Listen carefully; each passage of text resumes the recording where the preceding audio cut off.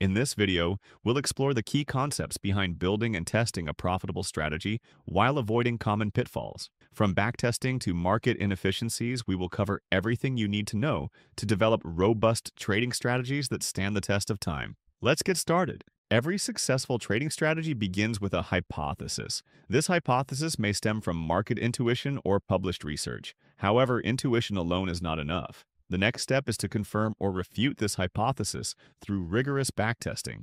Backtesting is the process of simulating historical performance using past data, but it is not foolproof. Many biases can creep in, leading to misleading results. One of the most common pitfalls is look-ahead bias, where traders unknowingly use future data that would not have been available at the time of the trade. For example, using a day's high or low price to determine an entry signal before the trading day ends is an incorrect approach as this information would not have been available in real time. Another common issue is data snooping bias. When too many parameters are optimized based on historical data, the strategy might appear to perform well in the past, but fail in real market conditions. To mitigate this, traders should use out-of-sample testing, cross-validation, and walk-forward testing to ensure their model is truly robust. Backtesting involves more than just running a strategy on historical data. Even small changes, such as using bid-ask prices instead of last prices or adjusting the time of entry, can significantly impact results. While many strategies claim to be verified with out-of-sample data, the reality is that poor out-of-sample results can often be masked by parameter tweaking. Traders must resist the temptation to adjust parameters until they see favorable results, as this leads to overfitting.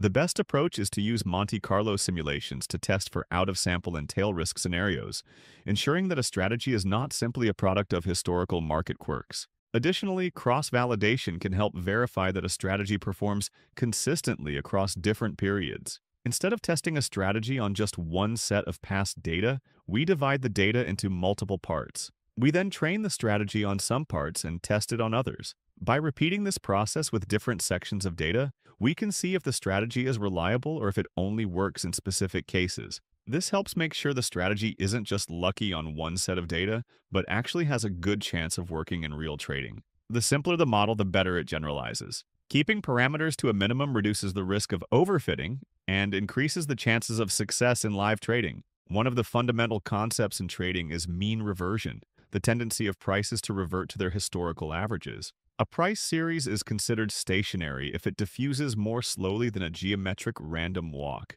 And to test this, traders use some statistical tools. The augmented Dickey-Fuller test and the variance ratio test, to name a few. If a price diffuses more slowly than a geometric random walk, it means it doesn't drift completely unpredictably like a coin flip. Instead, it moves in a way that shows some tendency to stay near a certain level or revert to a historical average, rather than wandering endlessly in one direction. A key metric in mean reverting strategies is half-life, which measures how quickly a price series returns to its mean. If you're using a mean reverting strategy, you want to know how fast prices return to their average because that tells you how quickly you can make a profit. The half-life measures this speed. Shorter half-life means prices snap back faster, giving you more trading opportunities. If reversion is too slow, you might be stuck waiting too long or the pattern might break before you can profit. Mean reversion doesn't just apply to single assets. Traders can often combine multiple assets to create a mean reverting price series. This is known as co-integration.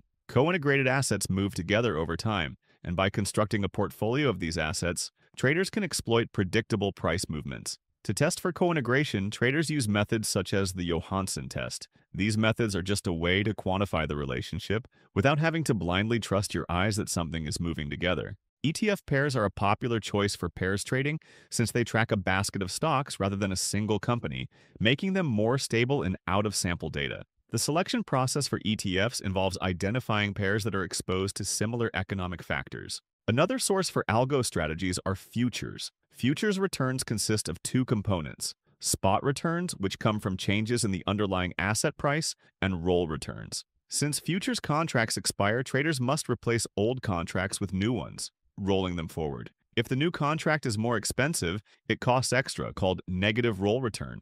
If it's cheaper, there's a gain, called positive roll return. While traders might assume that calendar spreads, differences in futures prices for different expiration dates, follow mean reverting behavior, this is not always the case. Instead, roll return series rather than price series are more likely to exhibit mean reversion. If you can calculate the roll return and find a way to trade it on its own, you might have a strategy worth looking at. In certain markets, only specific calendar spreads show mean reverting tendencies, depending on the contract months and their relative expiration dates. Understanding these nuances is crucial when trading future spreads, which is why a macro understanding of the markets is important as well. Momentum traders dominate certain markets, particularly in currencies and futures, because these markets often experience strong trends driven by macroeconomic factors, interest rates, and global events. However, Profitable momentum strategies are more challenging to develop compared to mean reverting strategies, and those that do work typically have lower Sharpe ratios. This is due to trends being unpredictable, often reversing suddenly due to news, policy changes, or market corrections. The ultimate test of a strategy is how it performs in real-world conditions. Walk-forward testing provides a true out-of-sample test by continually updating the strategy using fresh data. This can be done through paper trading or live trading with minimal leverage. The latter is extremely important. When trading live, unexpected market conditions come into play, such as slippage, bid-ask spreads, liquidity issues, and order execution delays which can impact actual performance compared to backtests. Once traders understand market inefficiencies, such as mean reversion, roll returns in futures, or leveraged ETF rebalancing, they can design strategies to exploit these opportunities. However, building a successful strategy requires discipline, rigorous testing, and an awareness of common pitfalls. To summarize, start with a clear hypothesis and validate it through backtesting. Mitigate biases with out-of-sample testing and walk-forward validation. Keep models simple and avoid excessive parameter optimization. Use leverage cautiously and optimize risk-reward trade-offs. If you follow these steps, you are on a great path of developing something that might make you serious money. If you found this helpful, don't forget to like, subscribe, and share your thoughts in the comments.